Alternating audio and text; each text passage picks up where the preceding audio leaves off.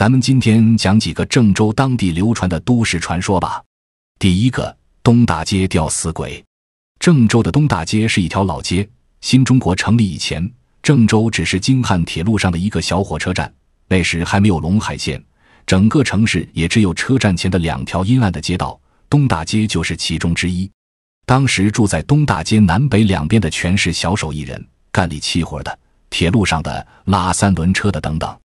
东大街路南靠近文庙附近有一家老两口，是黄河发大水从山东逃荒过来的，快五十岁的样子，带着一个十七八岁的女儿，靠着拉水车卖水为生。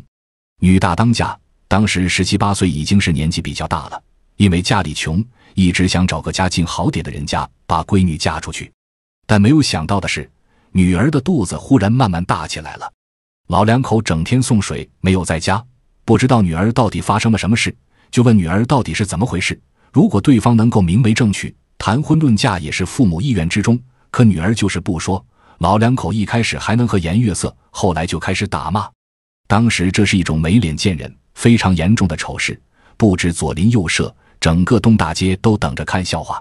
可那个女儿始终不说一个字。后来有一天晚上，吊死在了文庙东边的一棵槐树上。老两口可能觉得伤心或是丢人，后来就不知下落了。但到底是谁把女儿的肚子弄大的，女孩至死也没有说，也没有人知道。东大街的人都觉得女孩死得冤。当时文庙门前有两棵树，都是槐树，枝繁叶茂。直到现在，郑州人还比较爱吃槐花。女孩死的那年，估计也是如此。她死的时候是冬天。转眼春暖花开，槐花盛开，一股股甜香吸引了很多小孩子来摘。大家都忽略了女孩吊死的事，因为树高，小孩把低处摘完以后，就叫大人帮忙。有一个裁缝，姓张，二十多岁。小孩摘的时候，他站在树下的看，没想到有棵树枝忽然被小孩拉断，一下子戳到他的眼里，把眼珠挑了出来，血乎乎的弹到了天上。大人小孩全吓傻了。张才缝过没几天就死了。夏天雷雨多作怪，又遇上带鬼子的槐树。东大街当时还是土路，一下雨就坑坑洼洼的，泥泞难行。有一天晚上下着大雨，有一个拉三轮的，也是二十多岁，从文庙东边出来。当时树下站了一群躲雨的人，里面有人认识拉三轮的，心想着这么大的雨，他还不过来躲雨，就叫了一声。谁知话音还没落下，只见槐树顶上突然劈下了一道闪电。把拉三轮的从头到脚瞬间劈成一截黑炭，槐树下的人虽然个个胆战心惊，但全都没事。接连出了两起意外，大家就觉得这槐树邪门了。后来想到吊死在树上的女孩，就有人提议把这两棵槐树除掉。建议归建议，这是要文庙的人说了算，但大家都躲着槐树走。不过文庙一直没说要除树。雷劈人之后，秋天很平静。到了冬天，有一天刮大风。当时郑州还没有黄河防护林，一刮大风，飞沙走石。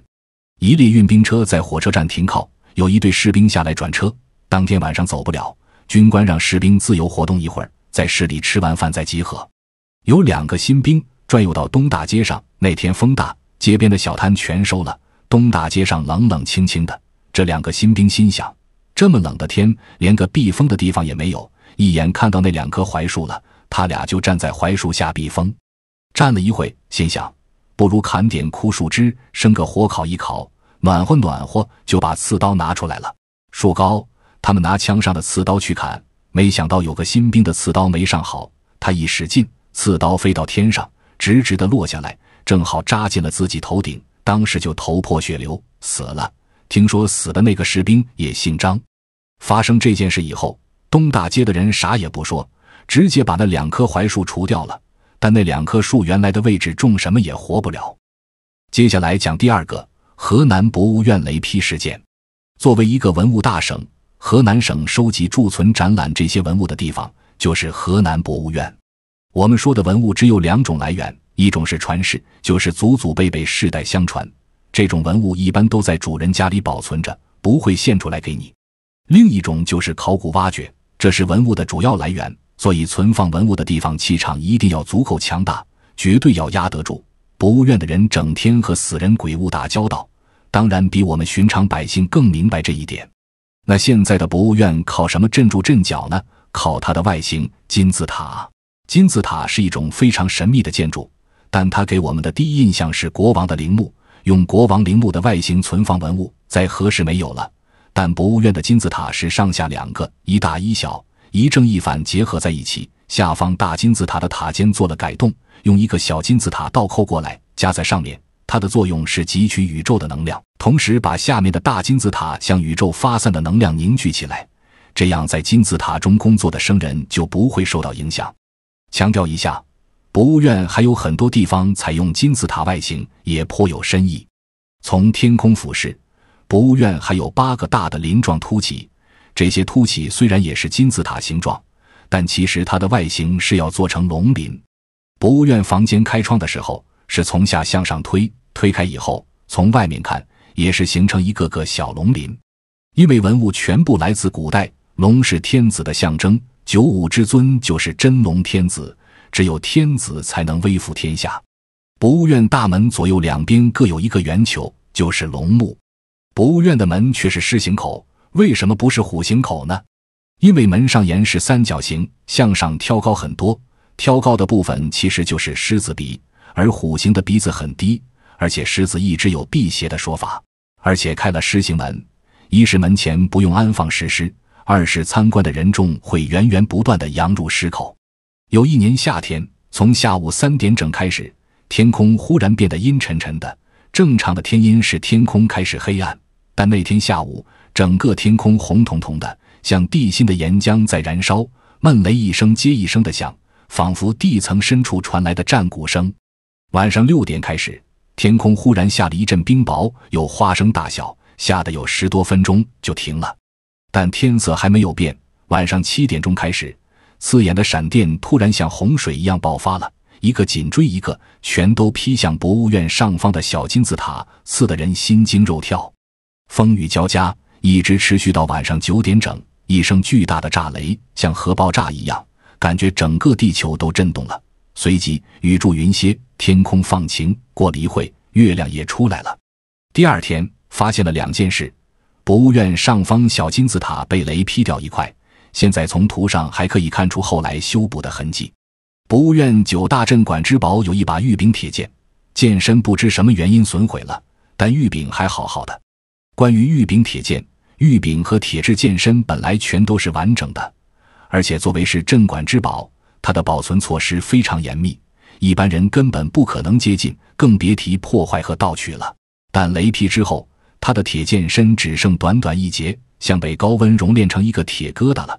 现在残存的部分，从大小、长短、体积来看，根本不会是全部剑身。但是断掉的那部分剑身去哪了呢？没有人知道，也没有找到。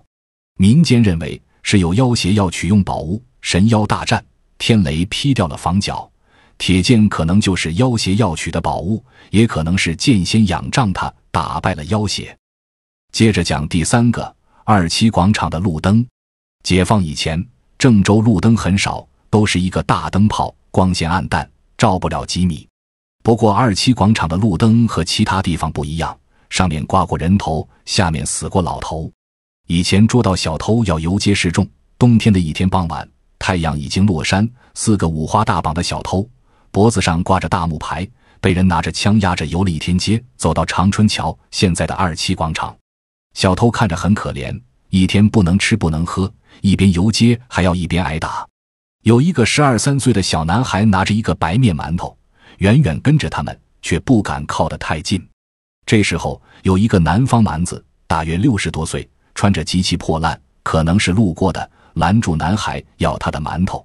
男孩哭着说：“俺爹游街游了一天，啥也没吃，自己拿身上所有的钱买了一个白馒头，他自己一天没吃东西。”也没舍得吃一口，哪能给老头啊？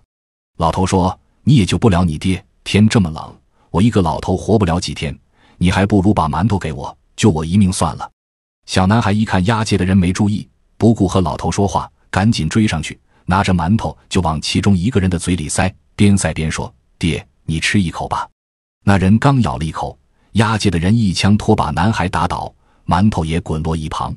那个老头走过来，扶起小孩。对押解的人用蛮子话说了几句，谁也听不懂，大意可能是他爹偷东西，不能打小孩。小偷在当时是最招人恨的。押解的人听不懂他的话，但是明白他的意思。一看是个乞丐，二话不说，给了老头一枪托，把他打倒在地。这个时候，路灯亮了，老头站起来，走到一根路灯杆下面，怒视着打他的人。小男孩捡起地上的馒头，吹吹上面的土，拿到老头面前，说：“俺爹也吃不成了，你一个老头这么可怜，你吃了吧。俺爹没偷东西，让人冤枉，都够可怜了。你白挨一顿打。”比俺还可怜。老头拿过馒头，他吃一口，他头顶的路灯闪一下；吃了八口，他头顶的路灯闪了八次。另一个押解的人一看，拉开枪栓，对着老头，砰的一枪，当场把老头打死了。老头临死前，左手从衣服里拿出一个干辣椒，右手把辣椒捏破，往地上一个一个的放辣椒子，依次放一个，放到第六个人咽气了。没人知道他是哪的。就把他的尸体埋到老坟岗了。后来，当时押解的两个人都到银行的金库干起了保卫，就在老头死的二七广场旁边的大金库，白天休息，晚上值班。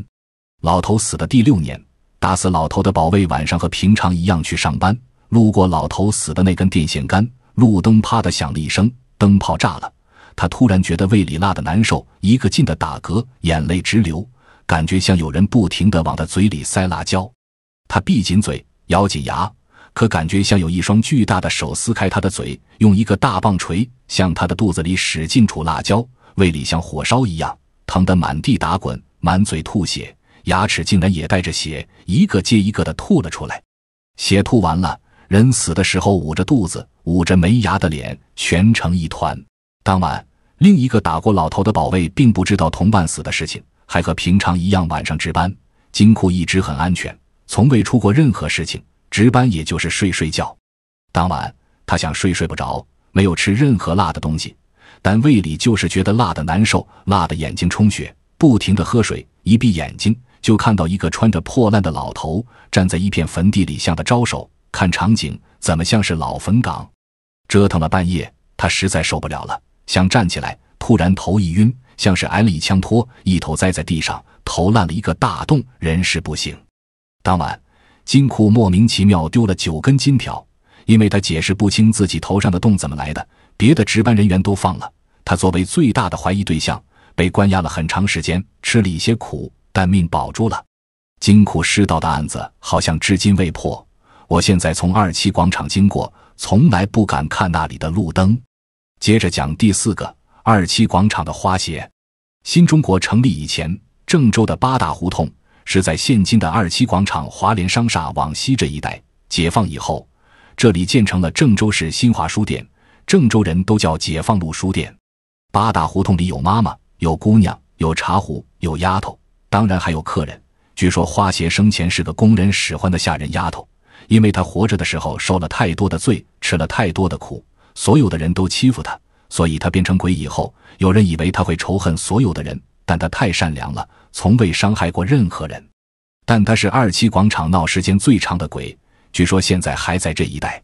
花鞋变成鬼的时候只有十四五岁，花鞋不是她的名字，是她变成鬼以后大家这么叫的。他生前的名字已经没有人知道了，不知道花鞋是从哪来的，口音是南方人，甚至他的年纪也是别人猜的。他不知道是哪年哪月被卖到这里的，个子很矮，皮肤粗黑，瘦小干枯，头上长过疮。头发快掉完了，妈妈不给他一分钱工钱，让他吃饭，他才能吃饭，而且他永远只能吃剩饭，永远不会吃饱饭。八大胡同的姑娘天生就是受人欺负的，受惯欺负的人更会欺负人，哪个姑娘都可以把气撒到他身上，抬手打，张口骂，他就是粪坑里的一块烂石头，客人不顺心，一脚把他跺翻都是抬举他。他又小又瘦又难看，根本不可能成为姑娘。茶壶使唤他都像对待一条狗，别的丫头大多是本地的，别人还有希望回家。一个连家在哪都不知道的人，只能一辈子待在八大胡同了。所以所有人都有理由欺负他。当时郑州人一天是吃一早一晚两顿饭，有挑担卖烧饼、点心一类的穿街走巷，中间饿的话可以去买。某年冬天，据说花鞋前一天才被妈妈打过，遍体是伤，血粘在衣服起了痂，疼得起不了床。他伺候的姑娘饿了，让花鞋去买个烧饼。天寒地冻，那天偏偏外面卖烧饼的不知在哪儿，花鞋走了好远才买到。他担心回去烧饼凉了，就把烧饼放在胸前衣服里暖着。妈妈不给他衣服穿，花鞋穿的衣服很少，所以烧饼直接贴在胸前，沾上了一点血。把烧饼交给姑娘，姑娘吃了几口，发现烧饼上沾了血丝，忽然一阵恶心，吃下去的东西全吐了出来。姑娘没有想到是花鞋的血，骂了几句花鞋，买个烧饼买不好，把吃了几口的烧饼丢在呕吐物上，蒙头睡去了。花鞋太饿了，把姑娘吐出来的东西偷偷捡起来吃了一口。太好吃了，是他从来没有吃过的美味。花鞋一口气把姑娘吐的全吃了下去，剩的烧饼他没敢动，但想着姑娘不会再吃，就偷偷揣在怀里。过了一会儿，妈妈让花鞋去伺候别的姑娘，花鞋怀中的烧饼不小心掉了出来。花鞋哪来的烧饼钱？当然是一顿暴打。打完之后，妈妈说：“你还想吃烧饼？喂狗都不会让你吃。”说着把烧饼就喂了狗。花鞋忍住伤痛，对妈妈说。我死都比活着舒服。妈妈骂他：“那你去死吧！你死了，喂狗狗都不吃。”花鞋说：“我死了，肯定会变成鬼。”花鞋走不成路，爬出去用剪刀自尽了。死的时候是扎的肚子，扎了很多下才死。临死也受了无边无尽的苦。据说花鞋死后并没有找妈妈报仇，后来那个妈妈又虐待死了两个丫头。当时的警察要抓。她害怕，先自杀了。二期广场改造之前，这一带全是服装店，但都是小街背巷，走在里面阴森可怖。据说有上年纪的知情人还经常看到他的影子。但花鞋太可怜了，做鬼也没有害过人，所以传说法师从这里抓走了很多鬼魂，但没有一个法师忍心收他。现在很多年轻女孩喜欢在二期广场这一带逛街、吃东西、喝饮料、买饰品。据说花鞋变成鬼的时候，和他们一样的年纪，一样的爱好，一样的对生活充满期望。很多人都有过这样的遭遇，有时候会觉得被人撞了一下，但仔细看看又找不到人；有时候会觉得正在喝的饮料，好像忽然自己咕咕噜噜的响几声，再一看少了一些；有时候手里拿着吃的，那只手会忽然像被人拉住，不能动弹，好像有人要咬吃的东西。有时候正在挑的衣服会自己动几下，好像一只无形的手也在和你一起挑衣服。买饰品的时候会听到一个南方的口音在你耳边说好不好看，左右找找却没有人。有时候会有一阵莫名其妙的心慌，甚至紧张到起鸡皮疙瘩。发生这些事情的时候，可能就是花鞋还在这一带晃悠。第五个紫荆山弯路，黄河水利委员会自从迁到郑州以后，就在现在这个位置。从来没有动过。从最早的家属区二宿舍到上班的办公区，要经过一段弯路。说来奇怪，郑州天天道路改造，天天挖沟，但这段弯路从一九五五年到现在都没有变过。路两边是两层楼高的高墙，墙的一边是紫荆山公园，公园树多，本来就阴森森的；另一边是黄委会的一座办公楼，楼很旧，还是五六十年代的老式红砖楼，但比较高。平时把弯路上的阳光全挡完了，人走在弯路里像进了迷宫，莫名其妙的会心情烦躁，都想赶快走出去。有一年夏天下大暴雨，郑州全是积水，弯路西边属于紫荆山公园的墙倒了。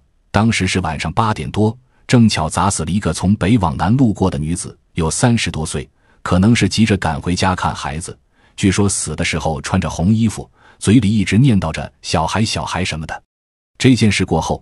第二年夏天又下大暴雨，有一个出租车司机是晚上十点多，不知道怎么着撞到弯路西边紫荆山公园的墙上，当时就车毁人亡。走这条弯路的人本来也不多，所以当时什么情况谁也不知道，就当一般的交通事故处理了。这是七月的事，紧接着八月又出了一起一模一样的事，也是出租车司机。大家都想，这一段是弯路。可能驾驶员开太快，刹车失灵，可检查刹车，发现刹车没有任何问题。到了十月，本来这个季节郑州不会下大暴雨了，可偏偏有一天下的很大。当天晚上，还是在这段弯路，同样有一个出租车司机撞到了同样的墙上，不过这个司机没死，昏迷了三天两夜。那个司机醒过来了，一醒过来，他第一句话就是：“那个人撞死没有？”大家都很奇怪，说。现场只有你一个人啊？司机就讲了当时的经过。当时是晚上八点多，他看着雨比较大，怕一会路上积水，就想着收车回家算了。本来他是准备走紫荆山路的，他像喝了酒一样晕晕乎乎的，不知道怎么提前左转，拐到这条弯路上来了。他还以为不会有生意了，结果拐到弯路上要左转的时候，忽然看到路右边站着一个穿红衣服的女的，三十多岁，看着很着急，一个劲的冲他招手，好像还在说着过来过来。他本来想刹车的，可脚好像不听使唤，竟然踩到油门上，猛地撞了过去，他就什么也不知道了。